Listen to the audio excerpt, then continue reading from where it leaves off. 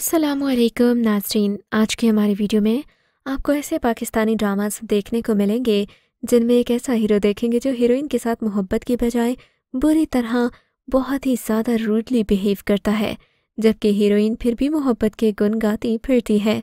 तो वीडियो शुरू करने से पहले मोहब्बत में हमारे चैनल को सब्सक्राइब कर दें और आने वाली वीडियोज़ के लिए बेल के आइकन को भी क्लिक कर दें। ड्रामा गुले राना।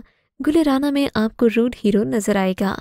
यह ड्रामा सीरियल एक मिडिल क्लास फैमिली की लड़की गुले राना के गिर्द घूमता है, जो अपने अम्मा अब्बा के मरने के बाद ताया के घर में रहती है। गुले राना अपनी दूसरी कज़िन से बिल्कुल ही यूनिक है और अपनी एजुकेशन के साथ साथ बहुत सारी फैमिली की ट्रेडिशंस का भी ख्याल रखती है, जिन्हें मॉडर्न लड़कियाँ भूल जाती हैं। जबकि गुले राना का कज़िन बहुत ही ज़्यादा प्राउडी एरोगेंट और शोखा है। वो एक खुद पसंद शख्सियत का मालिक है। जबकि लड़कियों को खुद से कमतर समझता है। उसकी नज़र में लड़कियाँ सिर्फ़ टाइम पास होती हैं, जबकि अदील किसी ऐसी लड़की से शादी करना चाहता है, जो बस घर संभाले और उसके मामला में बिल्कुल इंटरफेरेंस ना करे। उसे गुले राना की सादगी पसंद आ जाती है। अदील उसे अपनी जानब अट्रैक्ट करने के लिए बहुत ट्राई करता है, पर गुले राना उसे इग्नोर करती है। गुले राना के बिहेवियर से अदील की घुमंडी शख्सियत को शदीद झटका लगता है।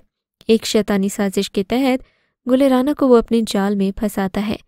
ड्रामा सीरियल मनमाइल मनमाइल एक और ड्रामा है, जिसमें गौहर रशीद ने जालिम और जाबिर शोहर का किरदार अदा किया है।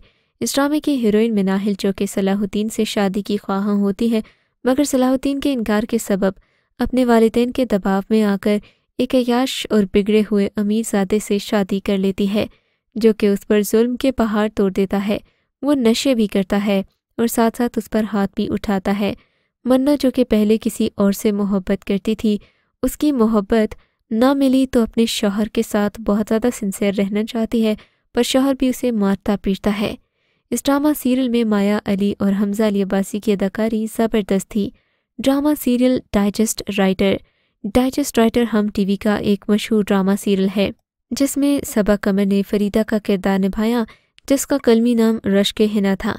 एक नफीस और अदबी सोच की हामिल लड़की को उसके वालदेन ने दसवीं फेल उसके फुप्पो के बेटे शौकत से ब्याह दिया था। इस किरदार के हवाले से गौहर रशीद का ये कहना था, वो कराची की मार्केट में इस कैरेक्टर को निभाने के लिए बहुत घूमे, उसके बाद तरह तरह की रंग बिरंगी कमीज़ें ढूंढ कर लाए, ताकि वो एक छेल छबीले लड़के का किरदार अदा कर सकें, जिस पर लोगों ने उनकी बहुत ज़्यादा नफरत की, जो कि बीवी की कमाई पर ऐश करता है। ड्रामा सीरियल ए मुश्ते खाक।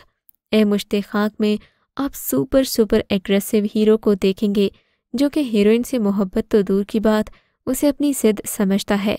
उसका मोहब्बत मोहब्बत नहीं, बल्कि एक जुनून है, और इस जुनून से हीरोइन भी तंग आ जाती है। लेकिन वो फिर भी बहुत ज़्यादा कोशिश करके उसे राह रास्त पर लाने की कोशिश करती है। लेकिन बिगड़ा हुआ बेटा संभालने का काम माँ का होता है, न कि बीवी का। ए मुश्त खाक में आप फिरोज़ खान को देखेंगे जिन्होंने कैरेक्टर किया है मुस्तजाब का, जो कि एक एथिस्ट किस्म का लड़का है।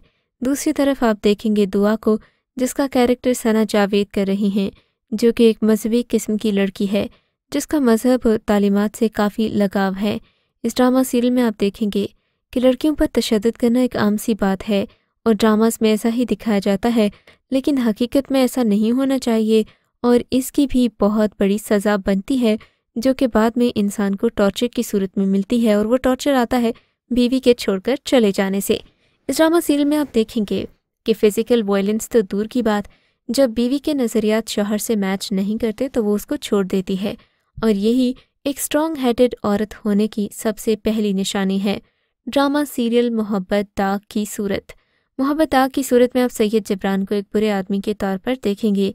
ये नई जगह और नई लोगों के दरमियान आकर बसना अक्सर लोगों की ज़िंदगी को मुश्किल बना देता है और फिर बहुत सारी मशरती इकदार को भी निभाना पड़ता है।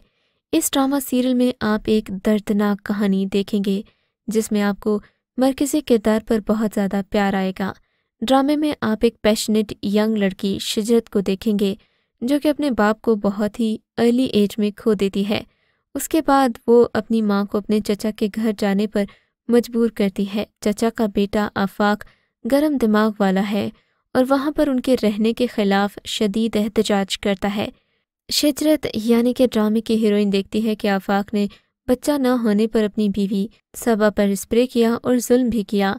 ड्रामा सीरियल दरार दरार ड्रामे में सैयद जबरान शहीर अहमद का किरदार अदा कर रहे हैं, जो हकीकी ज़िंदगी में एमबीबीएस डॉक्टर हैं, पर तालीम के दौरान ही उन्हें एक्टिंग का शौक हो गया। इस ड्रामा सीरियल में इनकी एक्टिंग बहुत ज़बरदस्त है। ड्रामे में शहीर एक खुश इखलाक और कामयाब बिजनेसमैन है, जो कि इरहा नामी लड़की से मोहब्बत में मुबतला हो जाता है।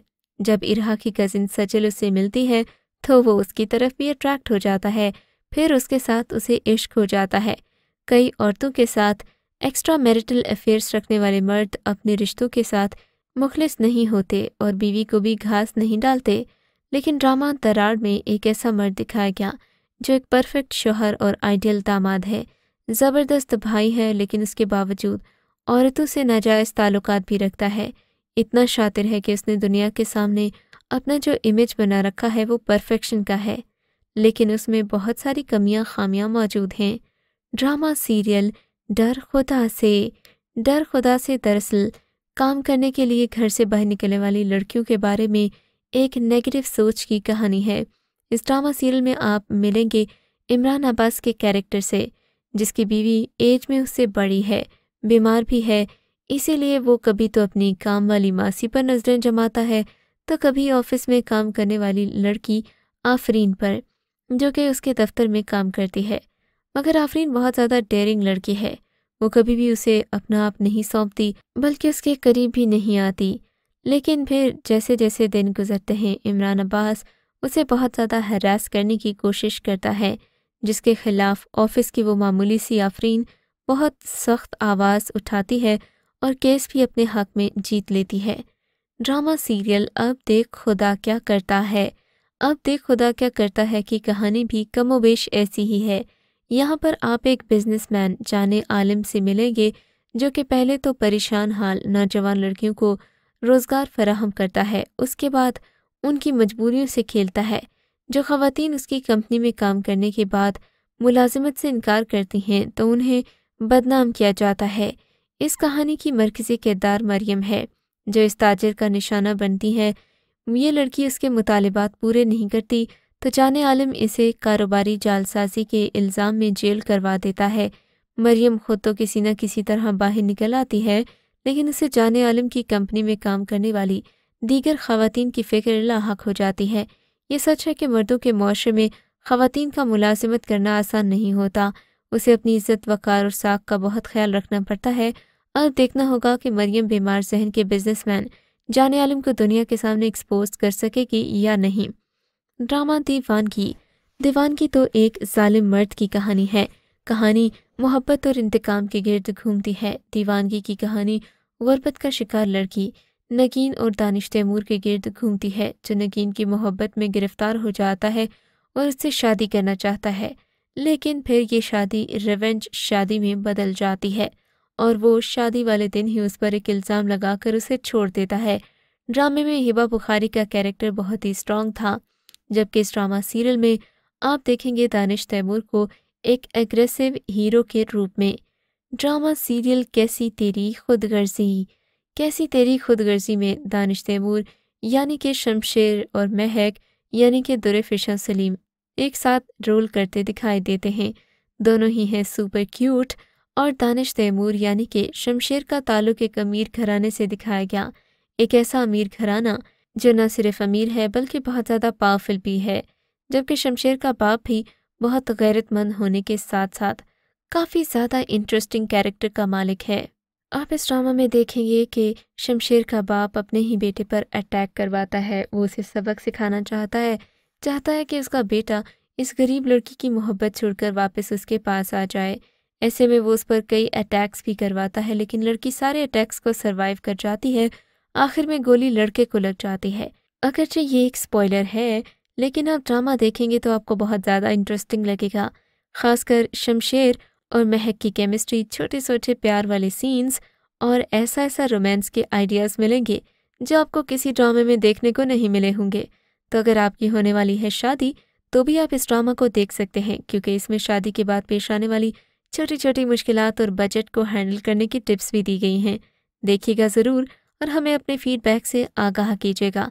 मुलाकात होगी अगली वीडियो में, तब तक के लिए अल्लाह हाफिज़।